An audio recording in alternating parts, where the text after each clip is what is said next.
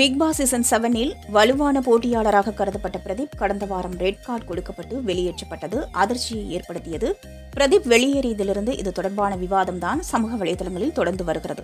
பலரும் நியாயமற்ற எவிக்சன் இது என்று கூறி கமல்ஹாசன் நடுநிலையாக முடிவெடுக்கவில்லை எனவும் விமர்சித்து வருகின்றனர். இந்நிலையில் பிக்பாஸ் வீட்டில் பிரதீப் ஆண்டனிக்கு எதிராக உரிமை குரல் எழுப்பிய போட்டியாளர்களில் ஒருவரான ரவினாவின் தாய் பிரபல யூடியூப் சேனலுக்கு பேட்டியளித்துள்ளார். அப்போது கேமராக்கள் இருப்பதால் அருணா கயிறை உள்ளே போடும்படியே பிரதீப் ரவீனாவிடம் கூறியதாக யுகேந்திரன் கூறியது குறித்து தொகுப்பாளர் கேள்வி எழுப்பினார். அதற்கு பதிலளித்த ரவீனாவின் தாய் அருணா கயிறு குறித்து பிரதீப் என்ன சொன்னார் என்று எனக்கு தெரியாது.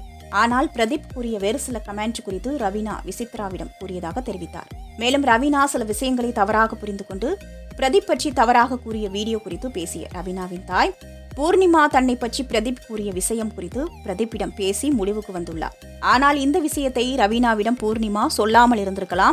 எனவே ரவீனா பிரதீப் பற்றி தவறாக விசித்ராவிடம் கூறியிருக்கலாம் என்று தெரிவித்தார். தொடர்ந்து பேசிய அவர் மணி இல்லையெனில் ரவீனாவின் கேம் மிக சிறப்பாக இருக்கும்.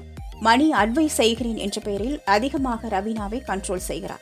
கண்ட்ரோல் செய்வது அல்லது அட்வைஸ் செய்வதை மணி குறைத்து கொண்டால் ரவீனாவின் கேம் மிக சிறப்பாக இருக்கும் என்றும் தெரிவித்தார். இந்த மாதிரி நியூஸை கன்யூஸை கேட்க ராஜ் டியூப் சேனலுக்கு லைக் பண்ணுங்க ஷேர் பண்ணுங்க சப்ஸ்கிரைப் பண்ணுங்க பெல் பட்டனை ப்ரெஸ் பண்ண மறந்துடாதீங்க.